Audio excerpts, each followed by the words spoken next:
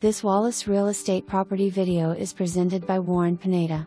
Welcome to the privacy of 1.7 acres in Knox County, but only 10 minutes from downtown. This handyman fixer upper is ready for you to complete renovations. The floor plan currently has two bedrooms and one bath. Hardwood floors in living room and bedrooms. One car garage and workshop in unfinished basement. Not a neighbor in sight. For more information, review the details below or contact Warren Pineda at 865 342 4200.